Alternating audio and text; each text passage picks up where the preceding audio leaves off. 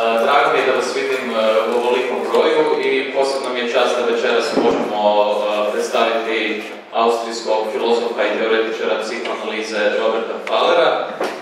Prije nego ga ja predstavim i prije nego on počne, najprije će nam se obratiti gospodin Georg Lack, direktor Austrijskog kulturnog foruma, koji je omogućio da večeras imamo ovo predavanje.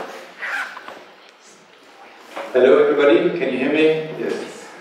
Um, so, I was already introduced, my name is Georg Lack, I'm the director of the Austrian Cultural Forum here in Zagreb, and it's, uh, it's a pleasure to see so many of you here at this uh, philosophical salon, the Philosophischer Salon uh, at the ZKM. Uh, it's a pleasure for me to welcome Professor Pfaller, who is currently teaching at the U University of Vienna, or the, the, University of Applied Arts in Vienna. Um, and as, as it was said before, we are uh, supporting this um, lecture here tonight at the ZKM. Uh, special thanks also to Srečko Horvat, with whom we've been uh, cooperating already on a, on a number of times. So thank you for coming and uh, enjoy this evening. Hvala lijepa. Thank you.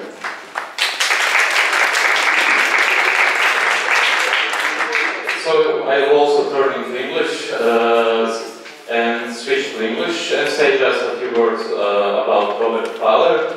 Uh, currently, he is a professor of philosophy at the University of Applied Arts in Vienna. And I think the last time we had the opportunity to, to hear and see him in Croatia was, I think, exactly 10 years ago, uh, when he presented his uh, studies about interpassivity, which is a term which I could say so made him famous in the academic, but, also broader world. Uh, as you probably know, Slavoj Žižek used this concept very often later. Uh, but in the meantime, uh, Robert Pfaller has published uh, several books, I think five or even six, Die Illusionen der anderen, which was published, I think, 2002 uh, at Suhrkamp. Uh, and the last book, he, in the meantime, he published also other books, but the last book he published is uh, Welten und andere Lebenselixiere, which in, in English would be uh, Second Worlds and Other uh, Life, I don't know, you, you will explain it. but, uh, so, and this is actually uh, the topic of tonight's lecture. so, I will leave you the floor and later we will have a discussion with video audience. Thanks a lot for being here. Thank you. Thank you very much for this kind introduction. Uh, good evening, ladies and gentlemen. I'm very glad to be here again, and I still remember vividly the uh, wonderful discussion that we had after my last lecture here in Zagreb. Um, well, actually, I never was in the predicament to say the title of my last book in English, but uh, I think it would go Second Worlds and Other Life Enhancing Substances. um, not drugs, uh, but uh, life enhancing uh, drugs or drinks.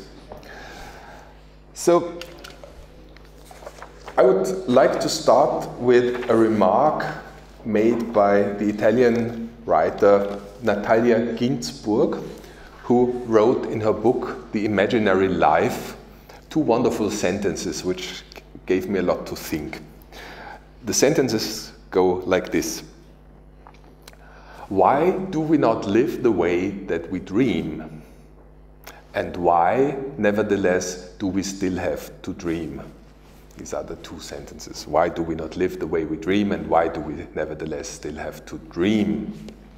This is the question that Natalia Ginzburg raises, or the two connected questions. Uh, by coincidence, I later found an answer given by John Lennon, who in his song Beautiful Boy says in his lyrics, Life is what happens to you while you are busy making other plans. Life is what happens to you while you are busy making other plans. So I think the philosophical consequences that can be drawn from these lyrics are very rich. In the first place, they of course, tell us that what we regard as something provisory, like, for example, life as a kind of waiting room for the doctor, this, what we regard as provisory, is in fact already the surgery. What, is, what happens there happens here, but we just expect it to ha happen elsewhere. But we can also read this quotation from Lennon into another direction, in the reverse direction. We could say even that without a false expectation, no life would happen. So only the fact that you are busy making other plans makes your life happen. So a deviant expectation, a deviant plan is a condition for life. And here I think we encounter for the first time what I would call the necessity of second worlds. Second worlds are precisely those plans we have to make in order to allow for a different life to happen. So in this quite tricky structure, we can find now several possibilities. The first would simply be that we do not make plans, we do not develop expectations, and then, of course, no life would happen. The second possibility, which is the sad case of many times, is that we develop expectations, that we make plans, but then a different life happens, and so the true life appears as the wrong life to us, as the false life, the life that does not correspond to our plans. But the third possibility, I think, arises from knowing precisely that. If we know that a deviant plan is a condition for a life that does not look like the plan, uh, then I think we are able maybe to trick our fate and uh, expect one thing and then secretly be happy with another thing. In fact, if you look around, I think you can see most people knowingly or unknowingly practicing this principle. So they are either on the stage of the second or on the third possibility. If you look, for example, at the love life of your closest friends, you will probably quite quickly find out that almost, almost nobody lives the way he or she considers it to be right, or nobody lives the way the plans go. So, for example, people who are very um, reliable partners dream of sidestepping and uh, having a more exciting life. Those who have the exciting life dream of stability. Uh, those who have indulged in serial monogamy dream of permanent monogamy. The, the best friends who engaged in permanent monogamy envy those who are engaged in serial monogamy, and so on. I even once encountered a couple. Um, they divorced about the question whether they wanted to have a child or not. The lady wanted to have a child, the husband did not want to have a child. They found this uh, not negotiable and separated. Soon after that, uh, the man became father with another woman, was a happy father. The woman uh, married another man without a child. Uh, they became happy without a child. So, very often in couples, we can also say that the partner represents, in a way, your second world or your, your deviant wish or your deviant life in place of you. Lacan has put this in the nice formula that woman is the symptom of man. I am telling you all this, which you probably all know, um, on one particular reason, because I think that under the historical circumstances that we live in, these principles have been widely forgotten. So, for example, a kind of postmodernist code of conduct in sexual affairs uh, encourages us to reveal our wishes And if we say we want this and that, and then we negotiate with our partners who, say that they want other things, and uh, then we negotiate, and then we get the best out of it and make compromises, and then we will get what we want. But what if precisely our wish is not to reveal our wish? How, how should we then proceed according to a postmodernist code of conduct? Or if you think of experiences that you can easily get from watching TV series, very intelligent series like Sex and the City, for example, completely underestimated under, among intellectuals, to my judgment. Um, very often in Sex and the City, you have a scene where people who had just dinner together are now confronting the question should they spend the night together? And it is very significant, I think, that this can never be explicitly uttered. They cannot say, should we now spend the night together? Uh, but they have to say, uh, wouldn't you like maybe to come with me for a coffee? So again, here you have the necessity of a second world. If you would not make a busy other plan, then life would not happen. If you would not rely upon coffee, then no night would be spent together.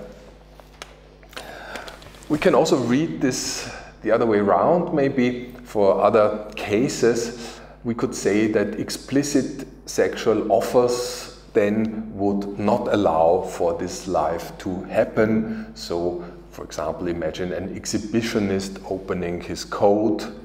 If you look at this exhibitionist, take a testing glance at what you can see and say, okay, that's interesting, I will come with you. Of course, the exhibitionist will end up in pure horror. This will be anxiety arising. Uh, this is precisely the reason why he opens the coat he wants to block your desires off and fend off.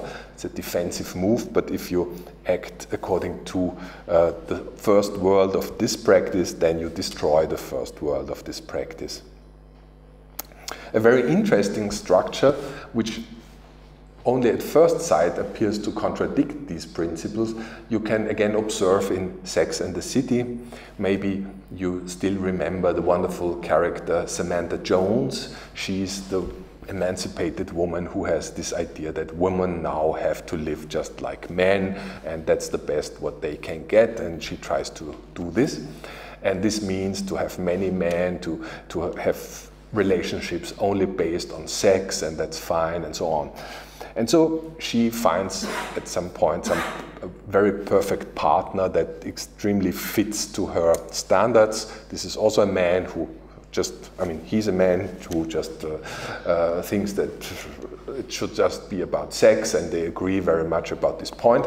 And so, in this agreement, they form a very stable relationship and they make appointments uh, by saying obscenely, uh, Should we fuck tonight at 8 o'clock at my place?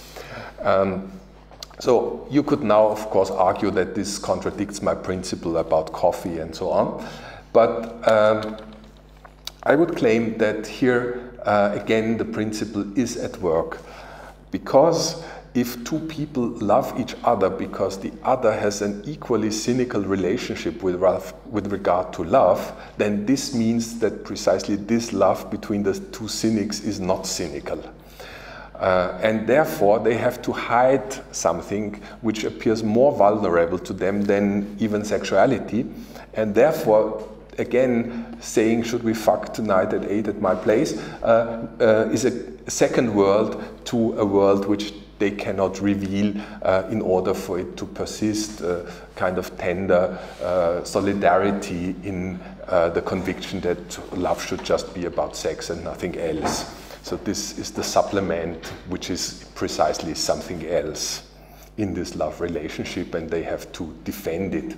So again, even pure naked sexuality can be an overcoat for something else, a second world for something else, and it's a condition of existence for this something else.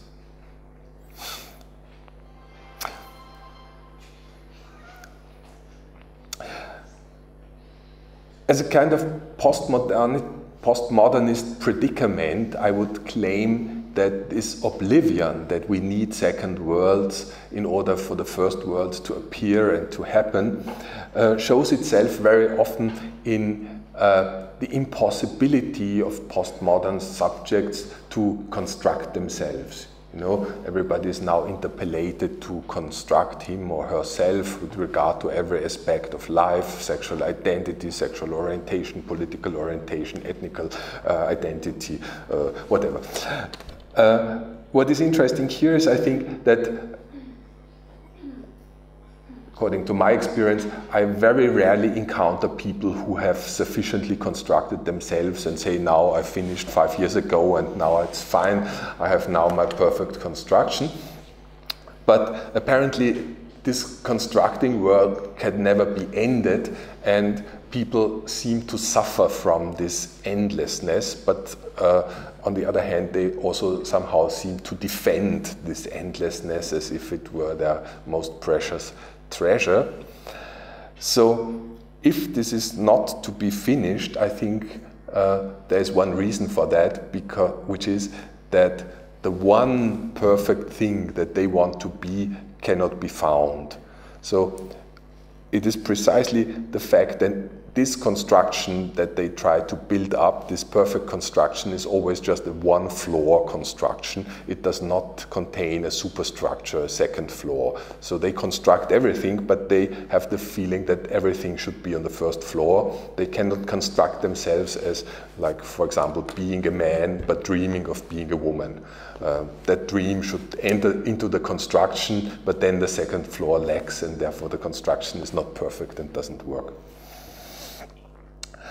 Another uh, example of postmodern predicament in private life, I think, is the fact that partners in postmodernity uh, tend to total transparency. So I observe in recent uh, crime television programs like the German Tatort, which probably you may know, which is a kind of classic in German television culture, in these crime uh, television programs, very often I observe since like five or ten years a kind of standard situation. The police inspectors come to a house, want to speak, for example, to the husband. Uh, husband and wife are present. They say to the wife, Can we speak uh, to the husband alone? Husband says, No, no, please go ahead. Uh, my wife and I, we don't have any secrets towards each other. This is a quite, uh, at least in, in this density or in the uh, in the fact that it occurs so often, I would claim that this is a recent typical phenomenon that people uh, declare proudly we don't have any secrets with regards to each other, and that seems to be a kind of proof of the sincerity of their love life. But um, again, I think. Uh, it is no wonder in such a relationship culture that people find those perfect, transparent partners all of a sudden very boring. And so uh, we have this kind of postmodernist uh, asexuality that occurs in couples. Um, and my colleague uh, Svenja Flaßpöhler, who has written a beautiful book on jealousy, has claimed that uh, we should introduce a third element, an opaque element, into this total transparency in order for desire to uh, continue. And there should at least be a kind of fantasy of the third person, the, the secret lover of your beloved. If you cannot fantasize about this, uh, your love will uh, cease to exist. So it is very important, Svenja Flaßpöhler claims, that you have some passages during the day where you do not exactly know where your partner is, you do not have his or her coordinates uh, and schedule, and then you this allows you for the second world of a fantasy. What may be my partner is now in some secret relationship, and happiness to get the partner back later is in, tremendously increased by fantasies like that. Another typical contemporary example occurred to me uh, in autumn 2012. Maybe you have also noticed this debate about the cover of Vogue Homme, uh, beautiful cover photograph which showed half-naked young woman and a half-naked young man in a kind of passionate embracing each other. And all of a sudden there was a group of people claiming that this represents violence, even rape maybe. And, uh, and there was a huge discussion that Vogue should not publish this cover. Again, I found this very strange and, in a way, alarming about postmodernist uh, thought. In the first place, it was not quite clear to me that violence was there actually present. There were no real visible signs of violence. But even if so, if, if we can claim that they were attacking each other or breaking the other's will, would you really think that such an image would encourage people, readers, to commit such acts of violence? Or is it not rather probable that such an image that shows people dreaming of violence in their love act encourages other people to dream of violence in their love act, which is not violent? So I think here comes again the question does postmodernity allow individuals for dreaming, or uh, do we also already have to censor our dreams, if not our acts? Against this position, to say individuals are totally homogeneous, what they dream, they will do, uh, I think we can mobilize uh, important and valuable experiences. We can see very often that dreaming one thing precisely prevents people from doing that thing. So if you think, for example, of the most opportunist politicians that you have seen in the last years, um, choose some examples. Do you think they were dreams, dreaming of being opportunists? Or was it not precisely those politicians who thought that deep in their heart they were revolutionaries or friends of the people, or at least uh, the smaller evil under given circumstances? That precisely those were the politicians who made the nastiest compromises and uh, went for the utmost opportunism. Or if you think of artists or writers that you know, is it not true that every kitschy reporter, writer of kitschy novels, dreams in his heart to be a true lyrician, a true poet, uh, just uh, not able, due to market conditions, to show his uh, uh refinement? So is it not necessary that all these people have this second world of dreams in order to support a different life? And if the kitsch guy would dream to be a kitsch guy, he, this would prevent him from doing the kitsch. This is what Sigmund Freud states with regard to dreaming when he says, with reference to Plato, that the good people are those who dream the bad things. The bad people are those who commit the bad things. And I think, uh, again, you can see the ignorance of these simple principles in postmodernity. For example, as soon as some American German pupil uh, shoots as, at his classmate, uh, which happens apparently quite often in the United States, uh, then one question that police and social pedagogues immediately raise is what is on the computer of this amok shooting pupil? And then they find maybe some ego shooter games and then they immediately draw the conclusion, okay, this pupil has shot on the ego shooter and then of course he had this idea he could do that also in reality and one day he went to school and then he shot uh, his classmates and therefore we should prohibit uh, ego shooter games on the computers. Again, I would claim that this is utmost neglect of the principle of second world and uh, it tries to cut the chain at a link which is maybe not a causal link or which is maybe the wrong causal link in this chain. Because, of course, the first question should be why is school such, a stressy place? Why are pupils regularly so humiliated uh, that they have this outburst of violence? Second question, of course, why do they so easily get firearms? Uh, if we can cut it on those conditions, maybe we would be more likely to find solutions for these problems. But the computer game problem should probably be tackled from the opposite side. We should rather ask ourselves how long maybe has shooting on the computer prevented those children from shooting at other children? How long maybe uh, could they somehow get satisfaction or get uh, relief from playing something in order not to do it in reality? And how many pupils maybe never start shooting at their comrades precisely because they have a chance to get this relief from shooting at the computer. So if we find somebody who shot on the computer and then shot his classmates, we should not draw the conclusion that this was the reason for it. We should rather draw the conclusion that the reasons for shooting were so strong that even playing on the computer could not anymore prevent this guy from doing it.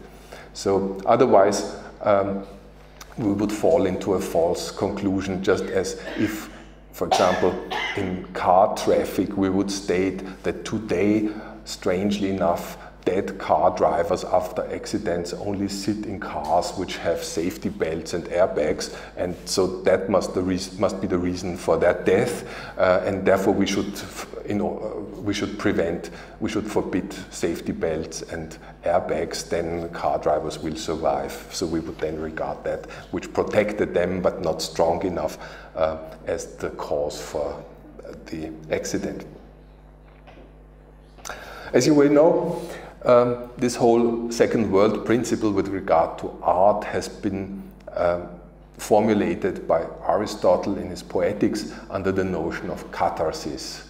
So, showing the people things in art, letting them dream bad things, and letting them act out unsolved passions allows them to decathect those passions, those affects, and prevents them from acting them out in real life. That would be the cathartic function um, that Aristotle describes with regard to tragedy, but also with regard to music, for example, when Aristotle says it would be nice if all the people could listen to refined music but unfortunately, some people have to live a pervert life, and those people have to have pervert music in order to act perversion out and not uh, let, it, let it predominate their lives.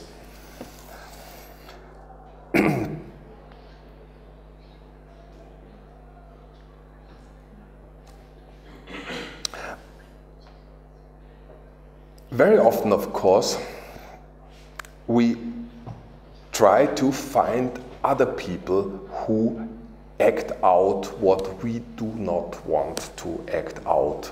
I think this is a principle of talk show television. Uh, and this distinguishes the presence of sexuality, for example, in talk show television from the presence of sexuality in like 70s movies. So sex has somehow disappeared from movies to a certain degree, but entered talk show. But by this shift of mediality, I think a different social relationship has established.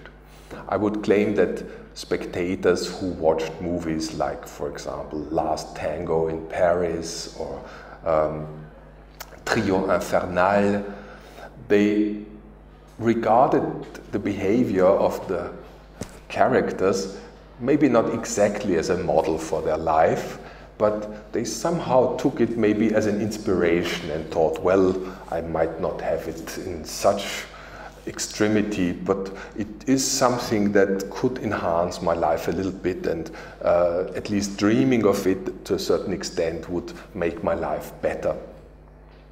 This is not the case with the talk show guest who explains that he's a necrophiliac or that he commits sadomasochist acts with his own mother.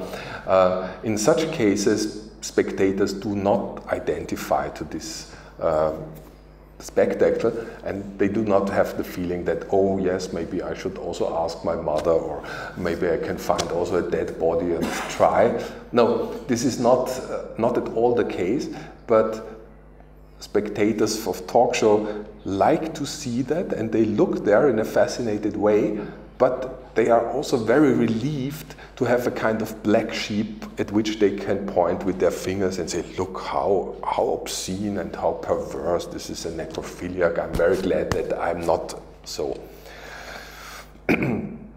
so I think this is a very interesting shift in perspective with regard to the heroes and heroines that we have now on our television screens. They are not anymore a source of inspiration, but they are black sheeps that we uh, let dark passions live in our place in order not to act them out ourselves.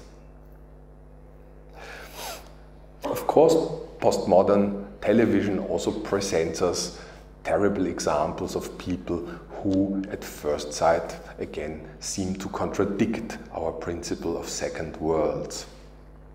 Is it not true that postmodern television, for example, shows us people who are really totally primitive? For example, those young guys who commit coma drinking, no, no not the slightest trace of refinement in them. They just blow away their heads with enormous amount of alcohol every Friday. Or totally shameless people, these people from the lower classes that now engage in this strange pornographic culture and expose it immediately for television. Or even total idiots. This has been one of the triggers of the Bologna reform at the university.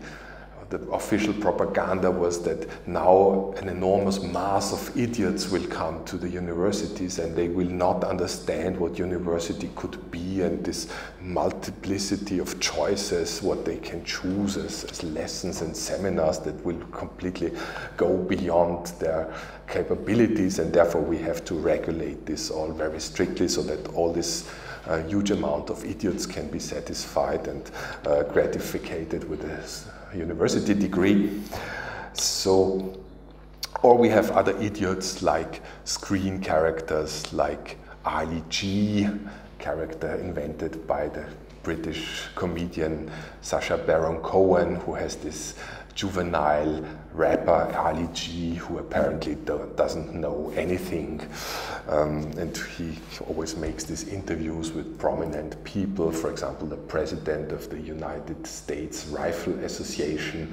And then Ali G asks this man, uh, Is it true that rifles have got a bad reputation these days? And the president says, Yes. And then Ali G says, uh, Did then anything bad happen to people due to firearms? And the president says, Yes, unfortunately. And then Ali G says, When did this happen? So here again we find a character which is totally simple or also the other character that you probably know Borat the man from Kazakhstan who does not have any culture whatsoever and um, well-meaning tolerant western people give him good advices for good behavior. He's very grateful for the smallest advice kisses the advisor. But still it does not work because uh, the legs are so big that they can never be filled with good advices. So all these examples seem to show that in postmodernity at least we have to do with real idiots, with real simple people who do not have the slightest second world, who just indulge in utmost primitivity and homogeneity. Yet, of course, due to what Sigmund Freud has told us, we have to discern the gaze of another in this simplicity or to put it into other words, we should claim that every simple being has got a second being or an observer who wants the first to be that simple. So, for example, if we have Austrian television a program uh, Friday Night Fever, then some television teams from the capital Vienna go happily out and explore the provinces and go to a di discotheque in the province and want to see the barbarians, how they behave on their Friday nights. And the barbarians are very sensitive for this feeling of inferiority which is conferred upon them when the camera comes. And then, of course, they start to, to rebel against this expectation and they somehow act it out in a provocative manner, I would claim. They, what they do is actually somehow to show this elitist Viennese people if you regard me as a primitive, then I will show you a real primitive so that you are really shocked. The same happens, of course, also in school, for example, when the teacher regards a few pupils as stupid, then the stupid pupils immediately emerge and answer more stupid than they have ever been. Also, in these gestures, uh, uh, a kind of, a kind of uh, rebellion against the expectation of other has to be read. In theory, this has been nicely explained by the British cultural theorist Stephen Greenblatt in his book Filthy Rituals. He starts this consideration with a historical example where a group of Indians in New Mexico invited, middle of 19th century, uh, an officer of the American army who was a kind of hobby ethnologist and they invited him to take part in a secret ritual that they had never revealed to a white man before. So this man was very honored and pleased and came there with big expectations. But what, was, what he was shown then was very disappointing.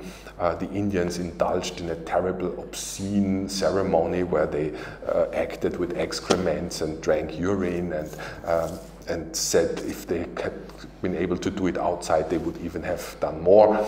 So it was totally disgusting. Uh, but soon the anthropologist got the idea that they also somehow mimicked uh, the ritual of a Catholic Mass. And so there was a kind of relationship with their observer. He got this idea this did not happen independently from his presence as an observer there, and it, it was made up for his eyes. And uh, even historical examples pop up to him, and also this already this American officer had this idea that there's a kind of um, stereotype through history that some groups often start acting rituals with excrements with regard to another group that regards them as inferior. That's the idea of Stephen Greenblatt. So wherever we have a kind of social conflict where one group regards the other as inferior, the inferior group starts to protest often by using excrements and somehow stating to the other, you regard us as barbarians, now we show you what real barbarians can do. Uh, a kind of recognition of the inferiority, but also a kind of rebellion against this inferiority at the same time as Greenblatt states uh, I think, perspicuously with regard to this behavior. So I think this uh, is the important principle from which we have to learn here, also with political respect. To put it into psychoanalytic terms again, we would have to say that the so-called primitive is an effect of transference. The other transfers on him the role of the principle, and his primitivity is a theater made up for this gaze of the other. He acts within the imagination of the other or within the illusion of the other. Therefore, this seeming homogeneity or primitivity can occur, otherwise, it could not occur. Every primitive would have a second world. The second world only disappears as soon as a second spectator arrives and allows him to play the role of the primitive.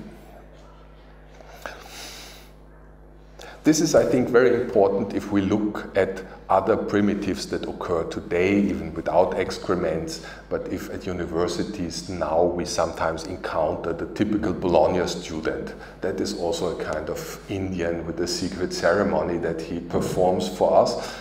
Uh, I, since a few years, I sometimes at some universities encounter students uh, who ask strange questions that they would not have asked 15 years ago.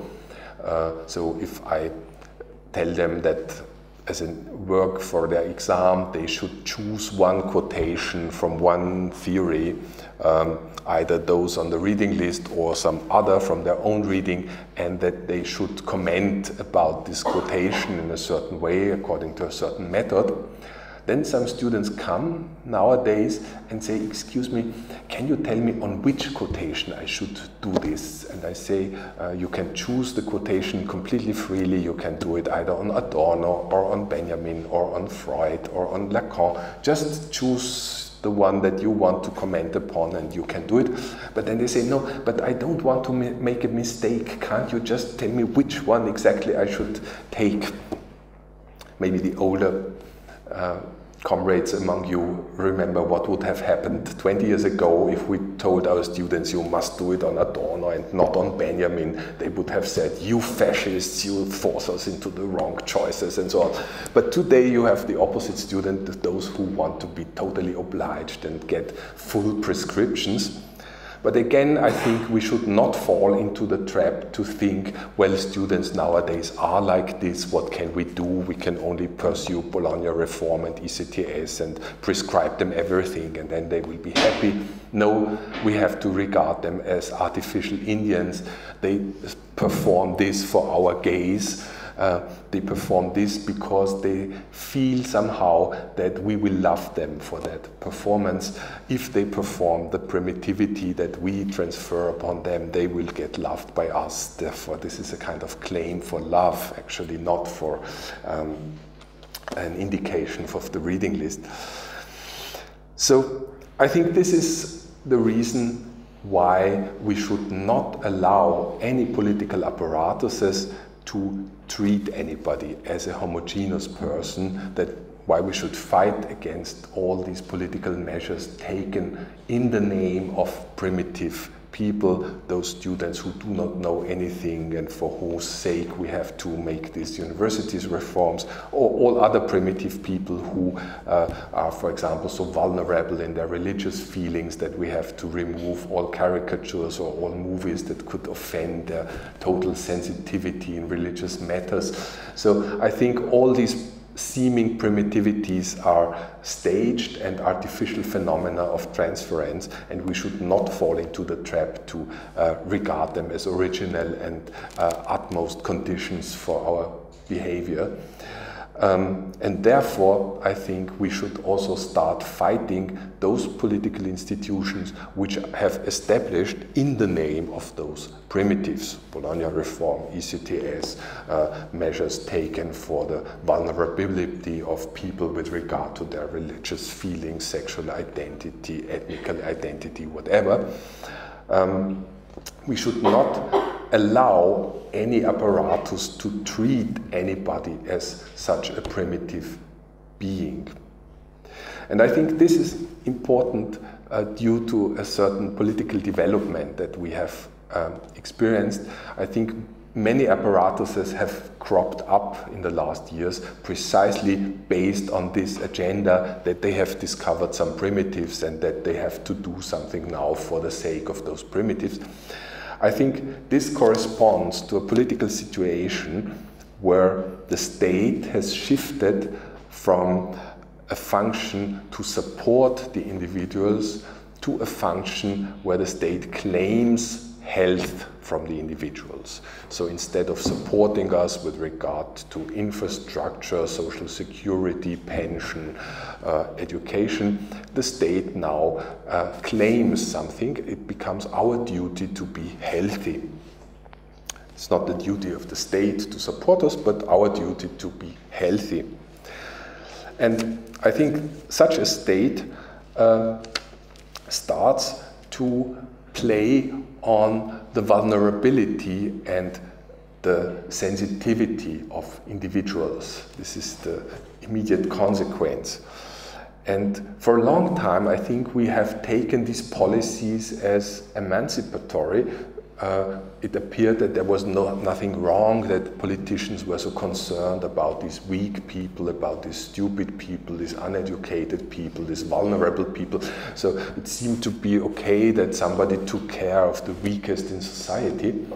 But in a way, we were blind for the fact that this actually this addressing people as totally weak, totally vulnerable, totally unable to overcome their stupid identity, even for a few centimeters, and uh, let it behind themselves for a little distance, uh, that this was the utmost offense. And I think this is the clever point in what Sacha Baron Cohen has done with Ali G and Borat.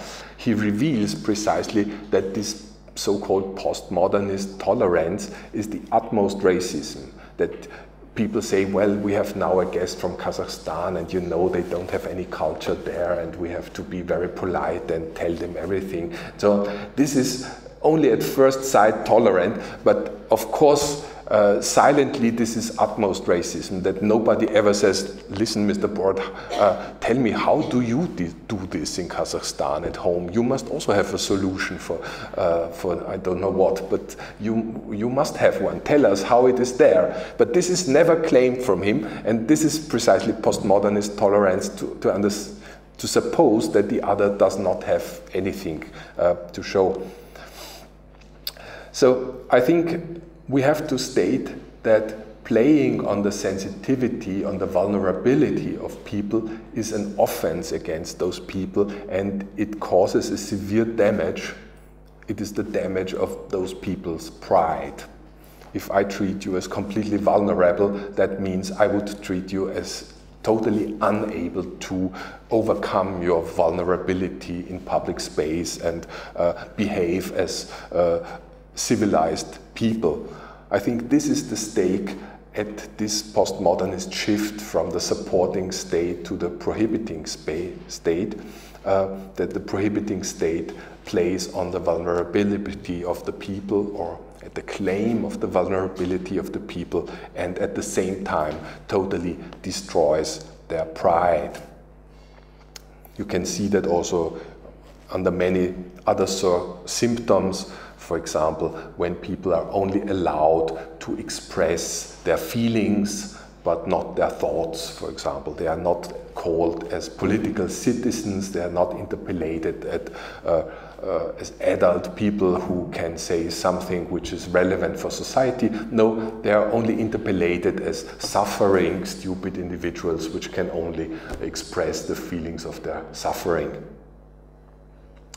So I think what we should keep in mind here is regardless of the particular question that in a lot of post-political measures today this is taking place that postmodernist politics plays on the vulnerable bourgeois and does not allow this bourgeois to proceed to the proud citizen. So, for example, regardless of how you think about the smoking prohibitions. But is it not an offense against adult people to put, you know, this, this uh, uh, uh, black uh, frames on the packages of the cigarettes, uh, warning people that cigarettes can kill you or something? Uh, only adult people can buy those cigarettes, no? not, uh, not children. They have made sure that no children can buy them. But now adult people are told by politicians uh, that cigarettes are dangerous. Is this not this an utmost offense. I mean, regardless of how you stand with regard to smoking, but, but you as adult people are addressed like children. Yeah? And it's precisely those politicians that we, or our majority, uh, has elected, and we had to be adults in order to elect them. But now they treat us like children and tell us uh, that we should not uh, smoke, that this is dangerous. As if we had not known that. No? Beautiful book by the American writer Richard Klein, Cigarettes Are Sublime. Richard Klein states there, it is completely erroneous to think that we had never known that cigarettes are so dangerous. If we had not known that they are dangerous, Klein says, we would not have smoked them. We smoked them precisely because we knew that they are dangerous. So I think we have to take this into account that a kind of postmodernist politics has shifted from a supporting state to a prohibiting repressive state and that this shift has been made possible by interpolating individuals as vulnerable beings or interpolating adult people as if they were children. In the name of such idiots, most repressive measures have been taken and social standards have been dismantled in the name of such idiots. So, this is also what I have called postmodernist pseudo politics, because I think uh, we can say that this politics always relies upon a certain trick or cheating.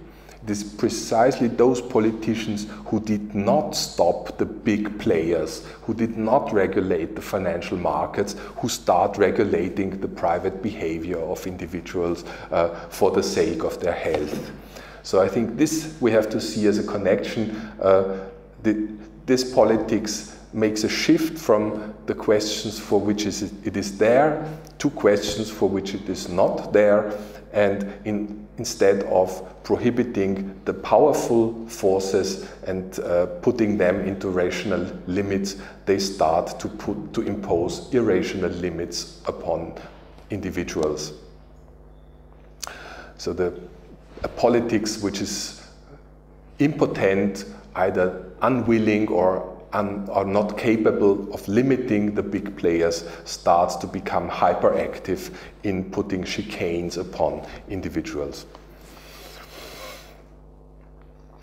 I think this is extremely damaging as a type of mass education because I think here uh, what is it that people learn from this education? Is the fact that they are only heard if they complain they are only lovable if they are weak and vulnerable.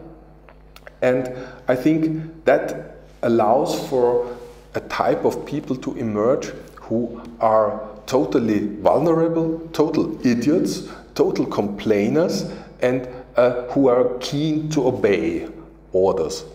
And those people who which are getting produced by these pseudo politics are people who always hate the happiness of the other. That's what this politics tells them. Be careful if the other is happy, this will be on your own detriment.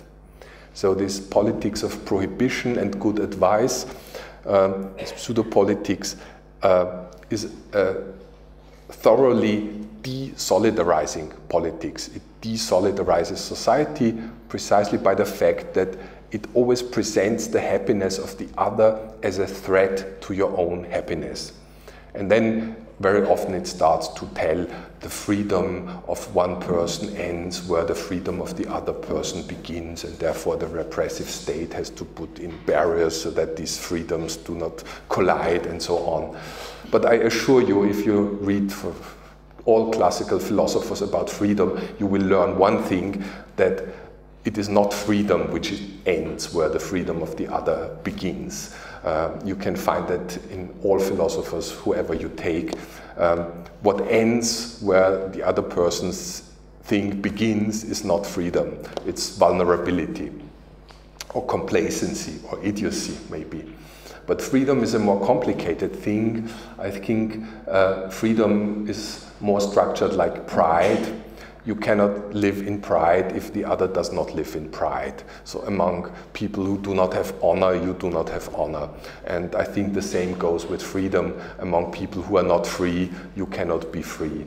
So therefore, the freedom of the other is a requirement for your own freedom, and uh, the pride of the other is a requirement for your pride, and also the happiness of the other is a requirement for your happiness. And I think we should be aware of this also with regard to the shift of perspective that we have observed in culture in the last 15 years because it is now precisely those things that we loved like 10, 15, 20 years ago, which today we fear and hate. Some people among you may still remember what happened if 15 years ago you heard somebody asking, uh, does it disturb you or does it embarrass you if I smoke a cigarette? there were people existing at that time, which is not so long ago, 15 years ago, who, who would answer then, oh, please go ahead, I don't smoke myself, but I like it if you smoke, it looks so elegant and it smells well. Some of you may remember this, no? Older colleagues uh, of my age may remember to have heard that. And I think this should be presented in a museum today. This should be shown to school children who may not believe that this has once happened. This looks totally impossible today. Even if I tell my students, they are sometimes totally surprised and can't believe it. And I think uh, here, this is a question which is worth philosophizing about what has changed so much. What has changed so much that this gesture, this gesture of social solidarity or benevolence with the happiness of the other, has totally disappeared and nobody can even imagine anymore that it existed once. What is the reason? I think we can explain it again along the lines that I have tried to line out for you.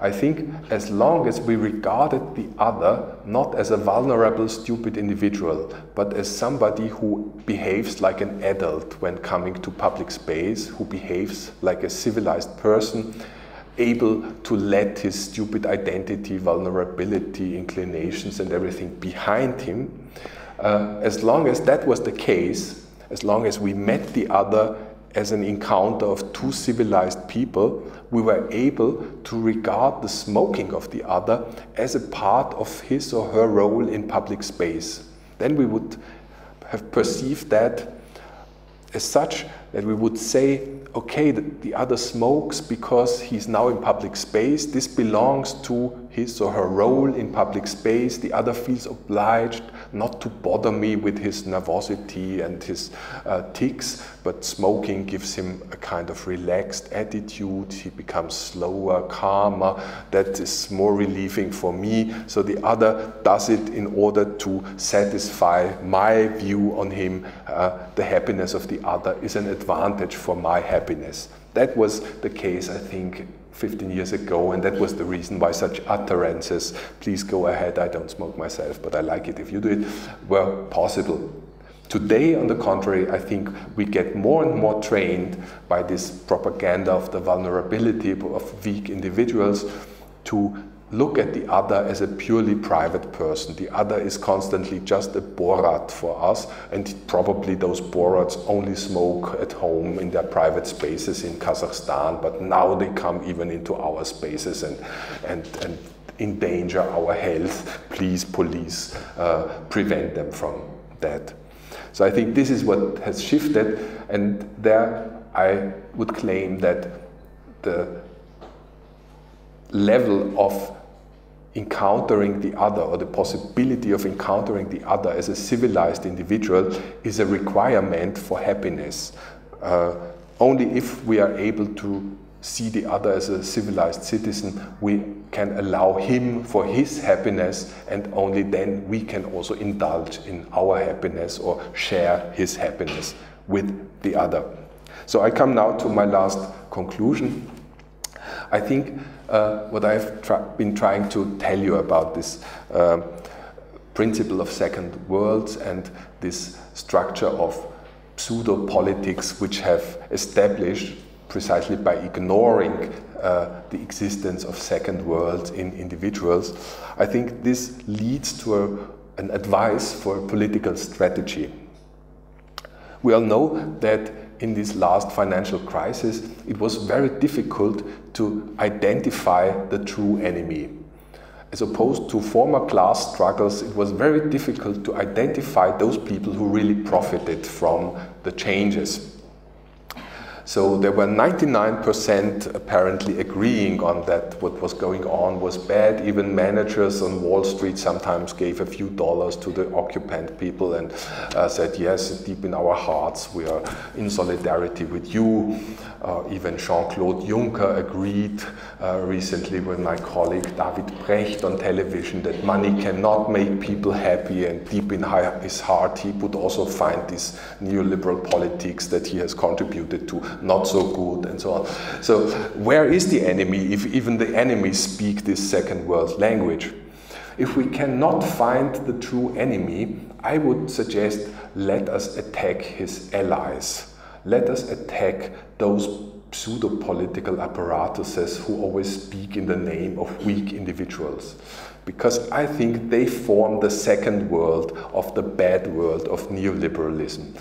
This second world constituted of a constant concern of some weak people, this is precisely the second world of a first world which is not at all concerned about suffering of masses and millions of people. So let us attack this nice, uh, tender world of vulnerability and being taken care of, and then we bring the first world into trouble. I think this is what we can do today.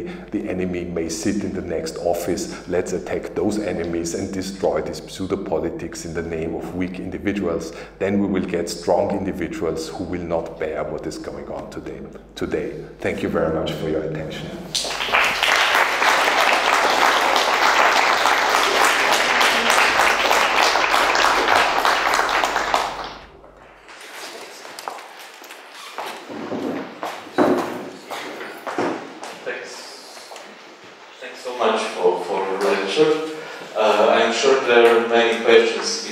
see them and if you have seen the audience. So maybe we can start right now and I will pose my questions later or you just raise your hand and the mic will come. I don't have a question actually, it was more like a comment, so I think it's the vision of, you know, like uh, these two worlds. And the first thing that came to my mind is like, when you mentioned Lenin, is uh, uh, people asking Patti Smith, but very early, you know, what do you think about uh, breaking through, uh, breaking uh, to the other side? And she said, well, it's not just once breaking to the other side, it's constantly breaking to the other side. So the image of constantly breaking to the other world is somehow, I think, you know, simplified in a way that there um, and, and a perception that I can somehow uh, achieve is just you know too simple. You know, I think of two worlds in the body, you know, the whole issue, and get a first and a second world. So just a comment that I'm asking for.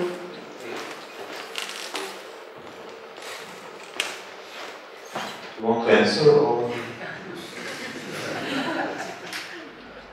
Well, um,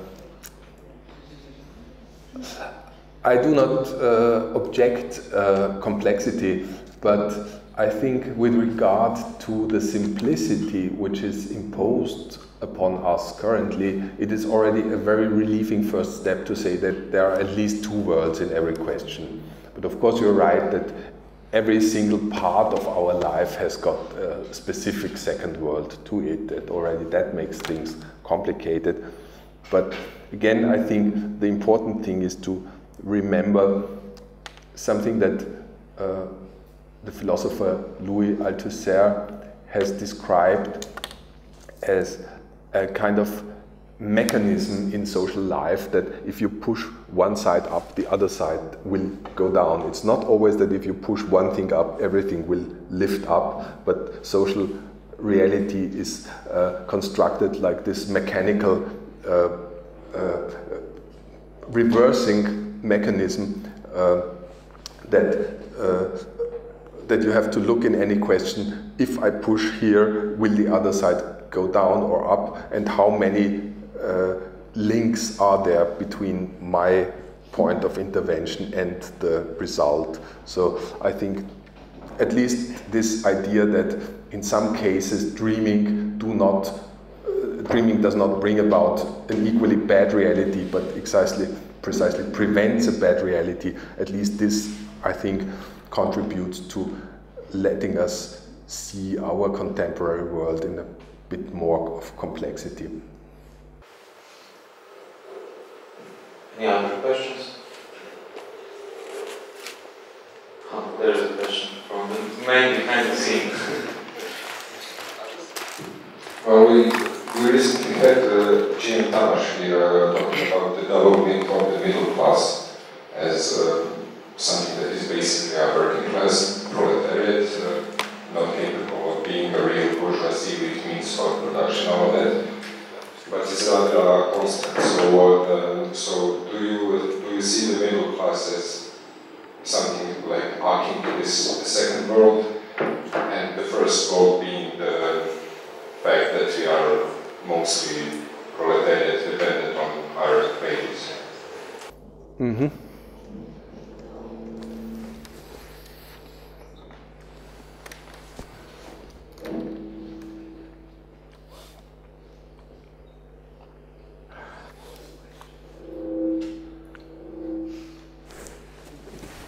Well, of course, you're right that this immediately concerns a, a, question of class division. But I would claim that it is not always upper classes that address lower classes as babies or children. I think, unfortunately, it is much worse. It is pseudo political apparatuses of the left who address their own clientele as babies or vulnerable people or students remote from education and so on. So just recall that Bologna reform was not made by the extreme right. Bologna reform was made by social democrats. Uh, so uh, very often it is people who uh, profit from their own class who establish pseudo-political apparatuses. More questions?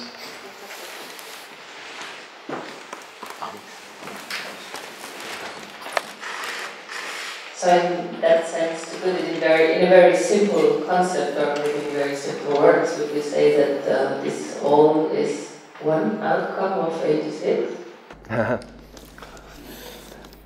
well, I would say that a certain after 68 ideology forms today an ideological support of neoliberal econo economic tendencies. So this would not have been detrimental if we had stayed under conditions of full employment and whatever. But today, under the acting of a very aggressive capital against society, this ideology of be yourself, be authentic, always try to be yourself, and so on, becomes uh, a very dangerous support of this politics because it allows the state to retreat uh, and not to address the citizens as political citizens, but to retreat to this level of biopolitics and pure repression. And one indication for this, I would claim, to my experience, if you look around, who always calls the police first? It is the people who are most influenced by a kind of anti-authoritarian ideology today. So it's anti-authoritarians who today call for the police. What is with all the educated people that we have now? Sorry? I... What is with all the educated people that we have now? We are um, developing into a society that is, uh, um, to a great percentage, built of people who um, have more and more education. And so, on the other side, there's a lot of educated people who do not have a job then in the end, because obviously, or as it seems, society just cannot absorb or cannot use all those educated people, as it seems now, especially in academia. Um, what is with all the, let's say, brain drain in this sense? What is with uh, what is happening with uh, all the knowledge that is around but not used? Well, of course, we have to state that education alone is not a remedy or def defense against even totalitarianism or fascism. No? Uh, this happened to very educated people and they contributed a lot to it. Uh, and I think what you describe is one of precisely one of the reasons of those developments also. Of course, it is the, the competition among, the increased competition among educated people that has also allowed for certain of these developments to emerge. For example, what I often observe, it's not a direct answer, but I think the, the example um, illustrates the, the, dilemma of educated people today. Um, what I often observe is that under the conditions of competition today, we have certain educated people who exactly build their own existence on the mistakes that they make.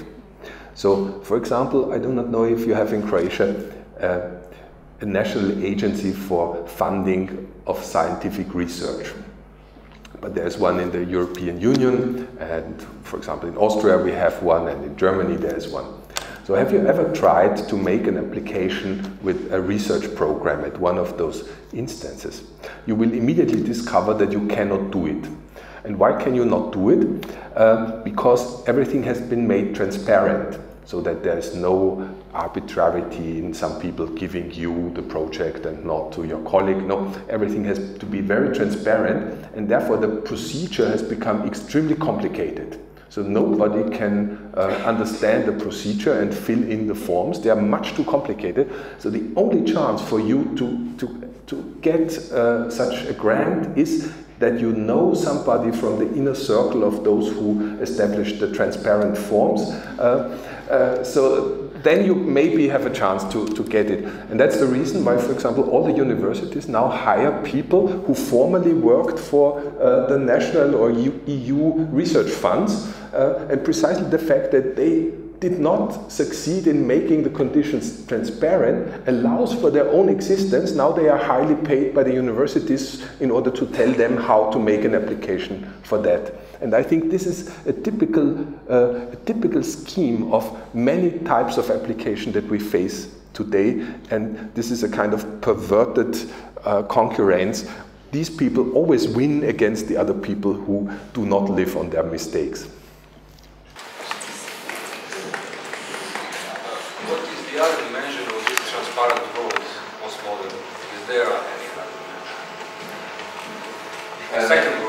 The second word of this. Yes, I would claim that precisely those apparatuses who permanently speak in the name of the vulnerable individual, they are a second world of a very cruel first world.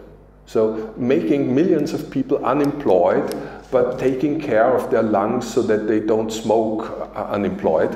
Uh, I think that is uh, a first and second world together. Yeah? Or another example, friend of mine, colleague just returned from Colombia. He noticed that three million people there are without uh, uh, hygienic water, uh, so they don't get clean water, but the government takes a lot of care that they don't smoke.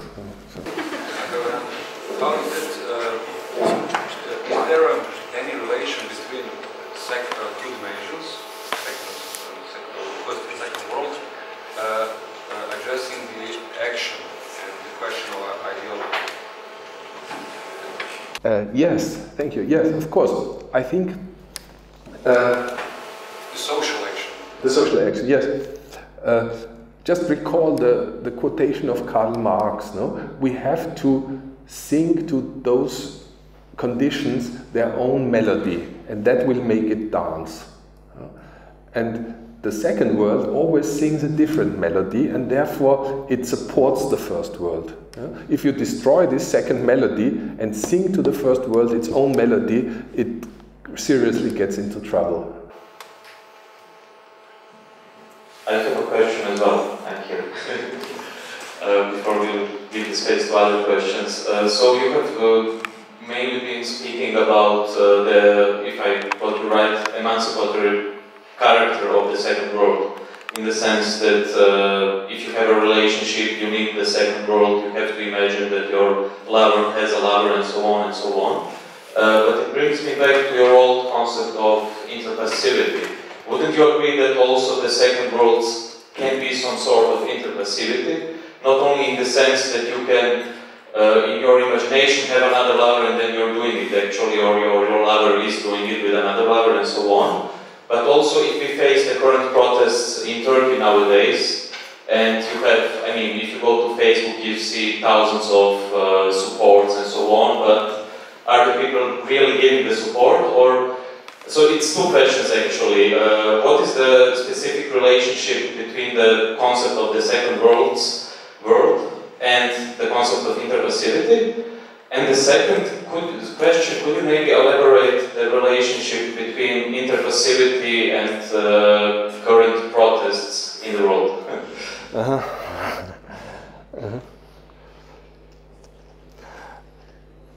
Okay, Um, first, I, I think I have to try to explain myself a little more clearly. I did not want to claim that second worlds are emancipatory. I just claim that second worlds are necessary supports of first worlds. So if the first worlds are good, then the second worlds are emancipatory supports of good first worlds. But if, as in neoliberalism, first worlds are very bad and dangerous for many people, then the second worlds that they have are, of course, a very dangerous support for this uh, dangerous first world. And therefore, we have to attack those second worlds of bad first worlds in order to bring them into trouble. And that's the value of ideology, ideological struggle and political struggle, I think. Um, with regard to the concept of interpassivity, um, it is not so easy to, to make a, a, a, short bridge. But at least I can say one thing. Uh, if you recall the conditions under which I have tried to establish the concept of interpassivity middle of the 90s, everybody at that time in media theory and in art theory was totally fond of concepts of interaction, interactivity, and so on. Uh, this has somehow perished, uh, but nevertheless, concepts of participation have cropped up instead. And I think uh, with regard to this, we could at least say that also interactivity and participation concept in the art is very often very disrespectful with the observer. They do not regard the observer as an adult critical observer. They regard the observer as a stupid child. You have somehow to, to make the child active so that the child doesn't make fuss. Uh, that, that's, I think, what, what is a kind of silent, tacit fantasy behind this interactive pedagogics. And therefore, I uh, tried to study the phenomena of interpassive behavior of some people who precisely did not want to participate, who did not even remain passive, but who delegated their passivity and so were for example, glad if the television comedy already laughed in their place, so that they said, so I don't even, I don't have to be interactive here, I don't even have to be passive here, it laughs in my place, that's wonderful, I don't have to laugh here, I have the highest distance to it that I can get. So in this kind of loss of social distance, which does not allow the other to be an adult, but we come so close together that we can only be children and vulnerable idiots. Uh, under these conditions, interpassivity was a study of a behavior that could be seen as a rebellion against this uh, loss of social distance and against the uh, let us say, the degradation of society into a community. I think this is also one of the typical postmodern symptoms that the highest degree of solidarity is only seen in a community, which means that we can only imagine to be solidary with people with whom we share at least one feature. We have the same uh, rock band that we love, okay, so we become friends on Facebook and we are in a community of friends. So, but we, we get more and more uh, difficulty to imagine a solidarity uh, which is without any uh, sharing one feature in common. And I think with regard to this, uh, the study of interpassivity was a kind of recall that there is a bigger frame that we have to keep in mind and we cannot uh, establish our solidarities only on the basis of community. We have to uh, claim and challenge society as a whole. Are there any other questions? There is one there.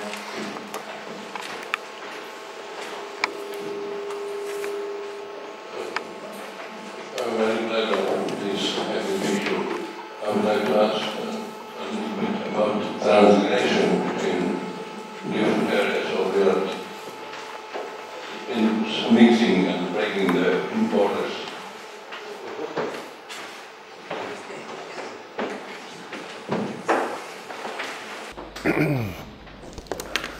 Thank you very much. Yes, you recall one concept which has been crucial for me, concept by Georges Bataille, which has been crucial especially for my last book, uh, um, what is life worth living for, elements of materialist philosophy. And in this book, I try to simply to recall this materialist question: What is life worth living for? Um, and I think uh, it is important to recall this question as a kind of materialist psychotechnique which allows you to step back from all these panics that our contemporary propaganda suggests to us. No? We are constantly kept in panic. At one moment, health is in danger. The next moment, environment is in danger. In the next moment, money is in danger and we have too much debts for the coming generations. The upcoming generations is also an idiot who can be very well used in order to make panic. No? For them, we have to protect the environment at any price or we have to uh, save money at any price and not get indebted. So everything has to be sacrificed for these other generations.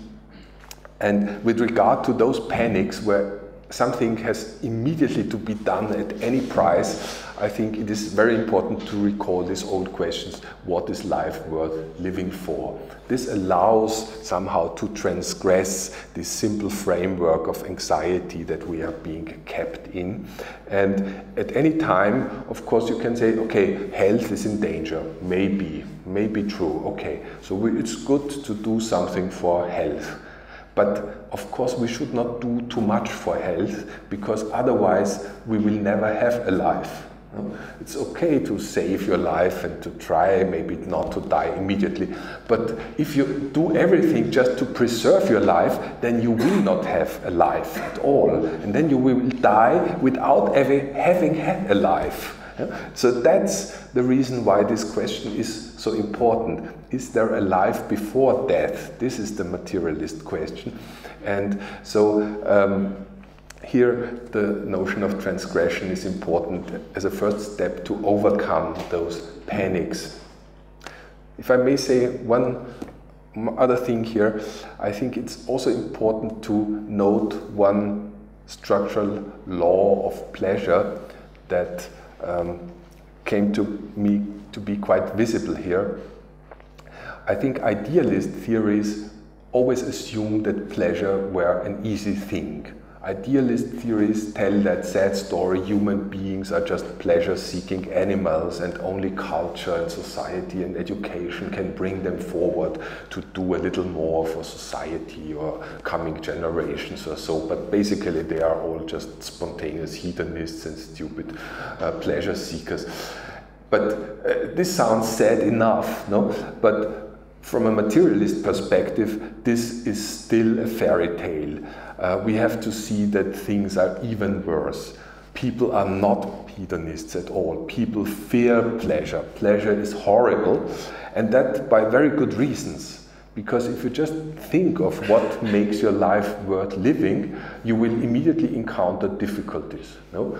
Alcohol, yes, of course it's great at some moments to drink, but of course it harms your liver and it uh, damages your brain, and the next day you will not be able to work so well. And if you uh, have sex, okay, it may be great, but of course it's also a bit disgusting and, uh, and it's socially problematic and so on, so maybe better not have sex, not to get troubles and so on. But even harmless pleasures like listening to music, no, uh, but this is waste of time, or just going for a walk, waste of time. So in every pleasure that is really worth living for, you have to acknowledge that there is a very bad and detrimental dimension and you cannot cut it out. If you cut it out, then you have beer without alcohol and things like that, which are totally banal and do not bring you uh, triumphal feelings of pleasure. So, whenever you experience really great pleasure, this is based on an act of transgression.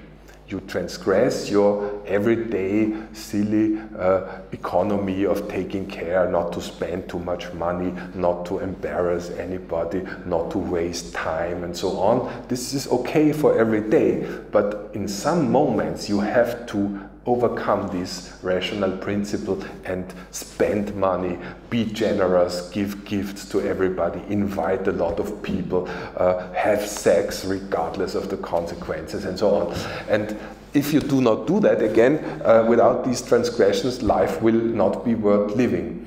But the clue here is, and that's the political issue here, that alone, left to your own individual devices, you will not be able to do that individuals are not able to transgress. People alone at home are quite reluctant to drink alcohol. Some do not even want to eat if they are alone. So, what do they need? They need a kind of social command. They need some friends coming by and say to me, Robert, it's enough, you have worked enough tonight, but now you come with us and drink some beers don't be a spoil sport. So, uh, so, this brings me out, and then the beer in my hand becomes a proof that life is worth living for. This is not always uttered so clearly, but sometimes uh, you go to a nice bar and you have dimmed light and very good cool jazz and so then a silent voice tells you now don't behave like a child don't order mineral water so, no? uh, it's clear now you have to behave like an adult person even if you don't find whiskey so great but now you have to drink it and it will feel let you feel great and so on. so this is the social dimension of pleasure we need this kind of social command in order to transgress our individual profane economy towards a kind of a sublime experience. And uh, this is why public space is so necessary for individuals in order to have access to their own pleasures. Otherwise, if we destroy public space, if we do not tell the individuals, do not be a spoil sport, uh, if we tell the individuals, please tell us your vulnerability, then they are immediately hostile against pleasure. They cannot claim pleasure anymore, and that makes them reactionary, obedient, envious individuals, which are uh, very uh, supporting authoritarian and repressive politics. So, yeah, I hope we will have some beers now. another question.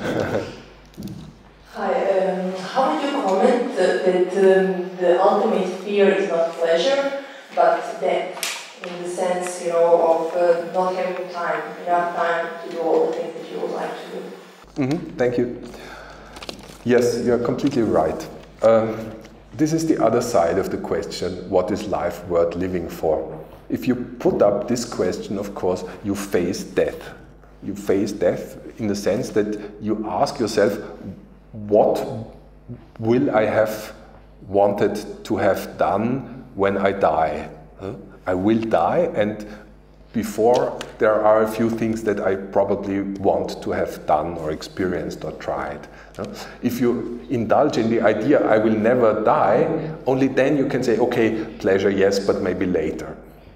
But if you say, okay, one day I will have died, and then it would be a shame if I had never tried a cohiba or never sucked a single malt, uh, then uh, you are facing death and you are approaching pleasure. And I think what we are today dealing with is a kind of ideology that suggests to the individuals kind of fantasy of, as Max Weber would have put it, inner worldly immortality.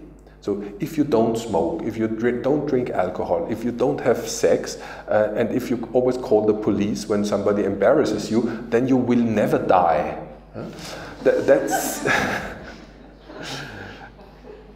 and I think this fantasy has got many sides to it.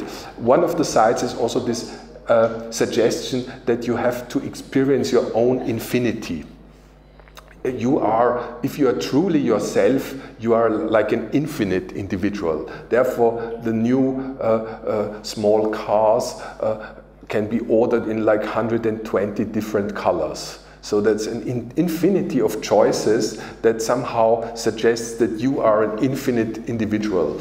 And um, I think this is also one of the phases of this fantasy.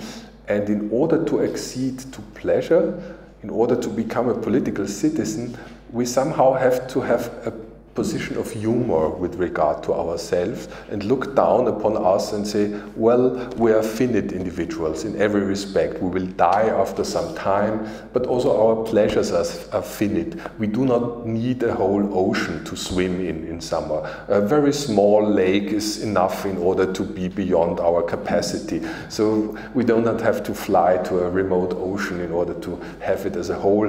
Uh, there's enough water for us to, to drown. And so, uh, if, if we adopt this humorous position with regard to ourselves and not indulge in this narcissistic fantasy of immortality and infinitude of, of your own being, uh, then we become accessible to pleasure, but then we are also able to transgress our stupid identity and look at it from a position that does not pertain to it. You know, this um, always has some kind of broad frame. And I would like to remind of the book from 16th century, which you certainly know. It's De La Boétie, uh, Voluntary Slavery. And why do we agree to live like this and why, why, why do we work for something which is um, destructive to us? And there's also a man that you have mentioned earlier, and I know the context that you are uh, involved in his work, and this is the start point that you have mentioned, deep-rooted self-destruction. And whatever that we do and develop as some kind of narcissistic wish to continue living to eternity, we develop all kinds of praxis, even political praxis, who are destroying us and damaging us. So this is not a question, it was some kind of a, um, reminding some tribute to Olapasti. Yes, yes. Thank you very much. Yes, of course. I mean, it's quite obvious precisely those ideologies which suggest our immortality, our indestructibility are contributed to our uh, inner worldly destruction and, and, and detriment and unemployedness and so on. This is quite obvious. Um, maybe with regard to De La Boétie, I would like to say one word which might let my position also appear a little more clearly. I think with regard to the problem of freedom, there are two historical positions in philosophy. One tradition is started by de la Boétie, and I think his immediate follower is Immanuel Kant in his uh, essay What is Enlightenment? And many Marxists, like Frankfurt School Marxists, have followed this tradition. Um, the basic line of this tradition is that lack of freedom is based on a lack of appropriation uh, of freedom by the individuals, of a lack of subjectivization by the subjects. People are free, but they do not take their freedom and they regard it as a strange object. There's an appearance of strangeness to it, and that makes them unfree.